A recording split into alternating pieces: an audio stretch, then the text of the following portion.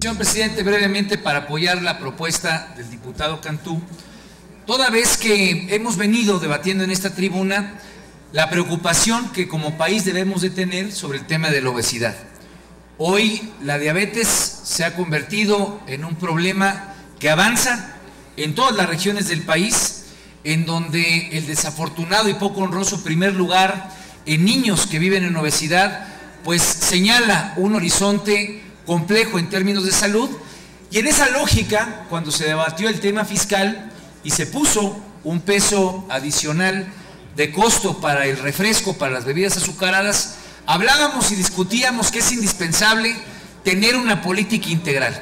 Y por eso es importante que siempre que se comentan temas que tienen que ver con la obesidad, hay que entender que se trata de construir una política de salud con una visión integral.